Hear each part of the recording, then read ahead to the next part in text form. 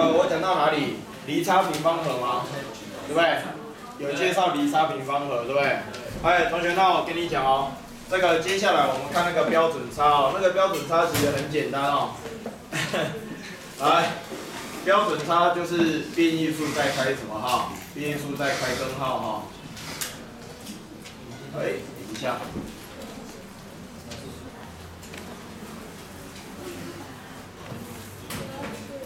Hello，Hello。哎，来，同学看我这边。来，同学，请问你啊，标准差是谁开根号？变异数开根号，对不对？那请问你变异数它是怎么算出来的？哎，变异数上面是什么？S 什么？X X X 啊？请问你这个叫什么东西？这个 X X X 它只是个代号啊，但是它有一个名字，它的本名叫做什么？它叫做离差平方和，这样可以吗？哎，知不知道这个 S X X 它代表的是这一个东西，sigma，然后 S I 减掉什么？减掉 S bar 的平方。哎，同学你还记得这东西吗？仔细听到，这只是一个代号，我们不要每一次都写这一坨嘛。我们都用这个代号，对不对？这叫 S X X，哦，这叫离差，减掉平均数，这个叫离均差啦，好，简称叫离差。然后平方，把它全部加起来，所以 s x x 这个叫做离差平方和，把离差平方和除以 n，哦，算它平均每一笔资料的离散程度。同学，s x x 除以 n，这个叫什么？这个叫变异数哦。变异数再开根号得到的东西叫做什么差？叫做标准差，对不对？然后你还记得我们高一的时候有讲过啊？哎，标准差来外面有个根号哈，但是这个变异数同学它有一个口诀啊，那个口诀叫做什么？再一次哦，那个口诀叫做什么？平方的平均减掉平均的平方，对不对？所以同学你看哦，哎，平方的平均减平均的平方，指的就是这个东西啊。来 n 分之一，来帮你复习一下哦，sigma。Si 平方，平方和的平均，好不好？平方的平均，再减掉什么？再减掉平均的平方，这样有没有问题？好，我们都有背下来，对不对？好，变异数的公式，平方的平均减掉什么？平均的平方，这样了解吗？然后同学，你从这里应该有看到一个东西啊，来，你看到什么东西？看到 n 分之什么？n 分之 x x x。就会等于这个东西哦，n 分之一的 sigma，哎，si 平方，再减掉，来，s bar 是什么？s bar 就是 n 分之一的，来 sigma，si 整个的平方，好，OK，来，同学你把它写上去，哎，这个东西就是它，对不对？我再讲一次哦，同学，这这些东西有时候看起来有一点讨人厌，我知道，因为就一堆数学符号嘛，哦，但是我想你这个数学符号，如果你熟悉，你会觉得其实也还好。来，这个叫什么？平方的平均减掉平均的平方，把所有资料加起来除以总个数，这个就是平均的平方，对不对？所以这个时候你会发现一件事情哦，同学，这个离差平方和这个 s x x，它其实有另外一种写法，来，它的写法是什么？哎，这个我们蛮常用的哦。现在我们两边同时乘以 n，你把这个 n 乘过去，你告诉我 s x x 它也可以写成什么样子？它可以写成 sigma 什么东西？sigma si 平方，对不对？那你把一个 n 乘过去，这里有 n 平方嘛，约掉一个，对不对？所以减掉什么？减掉 n 分之一 sigma si 括号的平方。哦。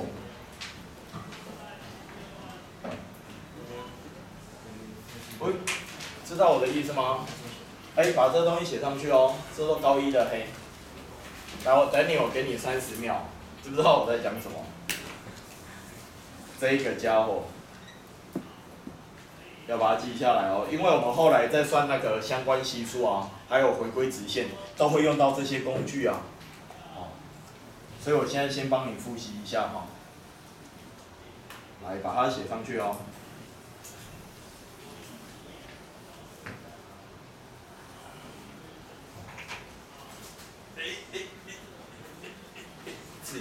歪的，不过没关系。奇怪，为什么这样写字都歪歪的？哇，今天礼拜五，好开心哦。对啊，终于可以晚上，我今天晚上要好好的睡一觉，睡到明天中午再起床。没有变成超爽。一百一十二天。一百一十二天，好。那你有看到那个李宝的名额吗？那个名单已经出来了哈，同学好好加油啊，朝着你人生的目标前进啊哈。哎，这个重新帮你录一次哦，同学你知道我这边在讲什么？再讲一次哦，同学，这个叫标准差，标准差就是把变异数开根号，对不对？那变异数是离差平方和除以 n，这样可以吗？离差平方和我们用这个代号叫 s x s 来表示，它的意思就是 s i 减 s 八的平方，然后全部加起来。这样可以吗？这叫离差平方和，这是它的定义，对不对？然后这个东西呢，后来有一个口诀嘛，这其实是可以证明的，对不对？高中的时候，哎，高一的时候，老师是把这个 sigma 打开？打开之后去整理，发现它长这个样子。然后为了方便同学去记忆它，我们就有一个口诀，变因数的公式叫做平方的平均再减掉平均的平方，就帮助同学把它记下来，对不对？然后你知道。S s s 除以 n 会等于它，然后你把这个 n 乘过去，结果你发现这个离差平方和它有另外一种写法，叫做 sigma s i 平方减掉 n 分之一 sigma s i 括号整个的平方，这样可不可以？这个东西哦，就某个层次上来讲哦，它也蛮重要的哦，可以帮助我们做计算哈。好，来，你先看一下有没有什么问题？离差平方和跟标准差我们就讲到这边，好不好？然后那个标准差哦，你看到那个九十二页下面那边，这个标准差它是干嘛用的？它是衡量统计，哎，不能，那要怎么讲？它要衡量数据的一个离散程度，这样听懂吗？哦，标准差越大，表示数据越怎么样？越分散，哦，就这么简单。离散程度的一个统计量，哈，嗯，好。然后我看看哦，还有什么东西应该要让你们知道？哎呀，还有一个统计量，其实你们也应该要知道一下。来，这个东西哦，其实也蛮常见的哈。你找个空白的地方，把这个 key 写上去，来写这个 key 哦。我们花一点时间来介绍全句这个统计量。好，哎，有没有人可以告诉我什么叫全句？全句是什么意思？你说全句是什么意思？最小的数的最大。哦，反过来，全句是什么？是把这一群离散的资料里面的什么最大减掉谁？最大减掉最小，好不好？叫做全句。这是它的定义哦。好，最大减最小，好，叫做全句，这样可以哈。然后这边呢，我会有一个比较观念的东西哦。来，这个是一个是非题啊。好，我们来问同学哈。嗯，如果群聚越小，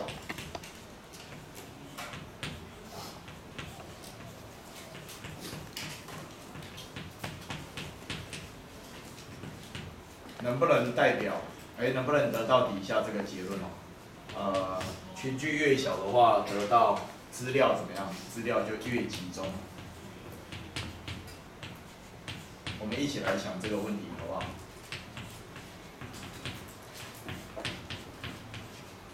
好，然后第二个问题哦，好，写在空白的地方，来，全句越大，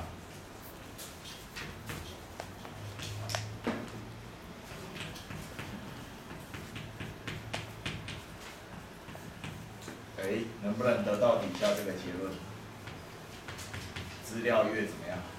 越分散。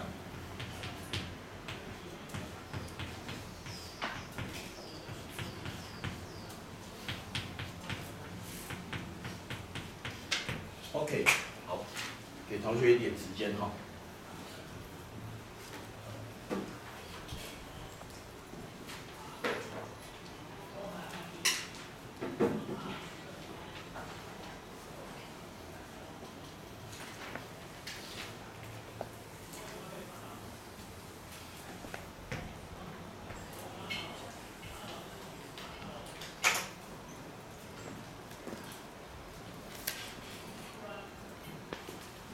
圈还是差，诶，为了让同学哈去理解这个问题，我我举个例子，好，举一个例子，举什么样的例子呢？比如说，哎，我看看哦，假设，好，example，好，慢慢讲哈。哎，统计这个单元哦，学测一定会考哈，这一定要注意哦，它至少会考一题哈。呃，假设某一次的英文的考试哈，哎，英文的测验，啊，英文的考试。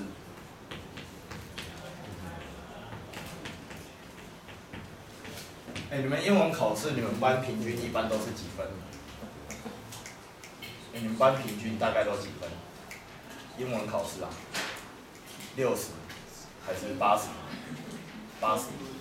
好，七十。好，来假设，哎，某一次英文考试哦，你们班的平均好 S 八，好不好？假设是几分？假设是七十分，这样好不好？好，全班的平均。然后下面有两个情况哦，来第一个情况。跟第二个情况哈，来第一种情况，如果我告诉你全句，全句是三分，好，那请问你它代表什么意思？好，等一下我们来问同学哈。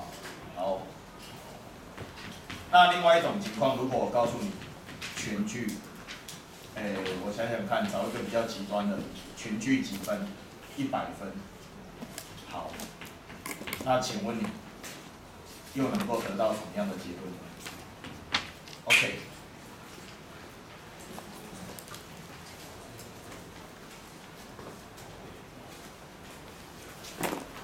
全剧这个统计量其实它很简单，但是它有一些小细节哦，真的要让同学知道一下。